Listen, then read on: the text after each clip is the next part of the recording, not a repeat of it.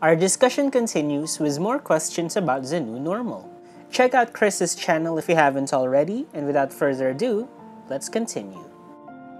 So, yung susunod na tanong, bakit mahalagang matanggap natin na may new normal na?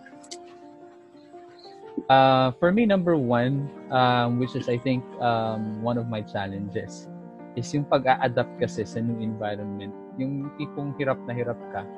Um, sorry, babalikan ko lang yung last project ko.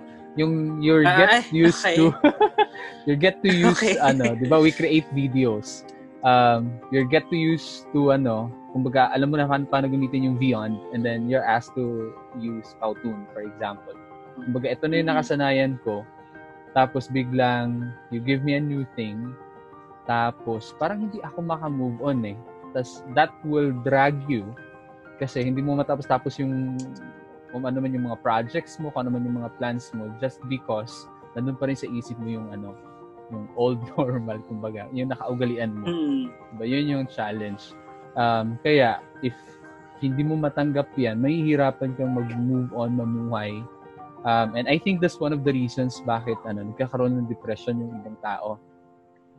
Especially yung mga um, mga adventurous, mga mahilig gumala, mahilig sa kung ano man yung mga ah, hobbies or activi- activities. Ayun. That's, that's, yun yung naisip ko. So ako naman, I, think mag-add lang ako dun sa sinabi mo kasi like we're on the same page. So, mahalaga na matanggap natin na uh, may new normal na kasi nga, yun, uh, we have to move on.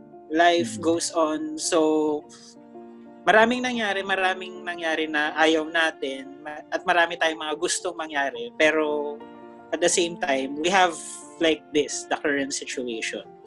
So, kung hindi mo bubuksan yung sarili mo na it- ito na talaga, ito na yung nangyayari, so baka mag-stay ka lang natin sa isang lugar. Correct. And ayaw naman natin nun. Sayang naman yung mga opportunities na meron na ngayon na wala dati. So halimbawa, ngayon since may karamihan, may mga incentives na to work at home. So, yung mga dating time na sinispend mo for traveling, ngayon, may, pwede mo na siyang spend for something else. Yung mga ganun ba? So, kumbaga, let's take advantage of the current opportunities. Yep, yep. So, sayang kasi yun. Alright. Susunod na tanong, saan ka kumukuha ng motivation ngayong new normal? Um, to be practical, sa bills. Ah, sabi, okay. Um, of course, family members. Um, kasi syempre, uh, we support um, uh, family members natin, especially yung mga nahihirapan and um, talagang directly hit na sila by the the new normal um, especially nung ano yung ECQ na, na mas mahigpit Mm-mm. na bawal lumabas yung eh, yun yung trabaho nila kailangan nila lumabas eh so yun isa sa mga tinutulungan natin syempre um, yun I think yun yung pinaka motivation ko talaga eh family maliban sa Family. Oo naman. So, yung sa akin, of course, family, actually, sila yung madalas kong kausap. Halos araw-araw nagvi-video call kami para lang ano, mag, yung sanity check bago mag-start ng work, ganyan.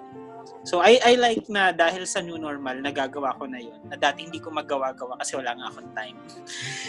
Kumukuha ako ng inspiration yung sa future. Yung sa mga pwedeng mangyari. okay Kasi, um, I'm speaking for myself, pero 2020 is the best year ever for me.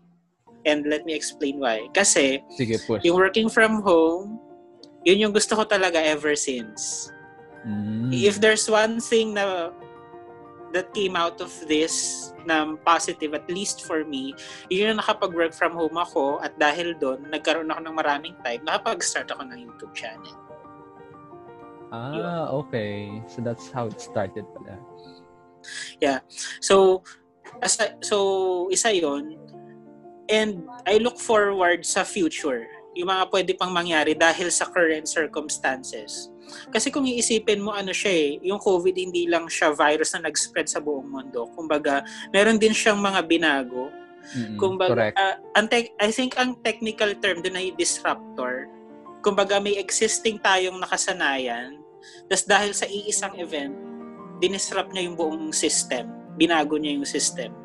So, wala tayong choice kundi mag-adjust talaga. Mm-mm. Correct. So, yes, even, mar- hindi lang individuals, di ba? But even businesses. Talagang, Oo, systems. So, na, yes, uncertainty nakakatakot siya kasi nga marami tayong hindi alam, marami tayong tanong. But at the same time, yung mga opportunities na wala noon na magkakaroon dahil sa COVID-19, yun yung nilook forward ko. okay. Yun yung inspiration ko and motivation. Ako pinapakalma ko Okay. muna ng sarili ko kasi if I have to think so much about the future, baka mabaliw ako. Okay naman, okay naman. Acceptable. Kasi marami talaga tayong nasa isip ngayon. Especially hindi tayo nakakapunta. Kasi yung ibang tao mahilig maggala para makapag-unwind. Eh, Mm. kasi ngayon we don't have the luxury of that eh. So, more more often than not, naiipon talaga yung mga iniisip natin. Ito actually last question na. And parang two questions siya.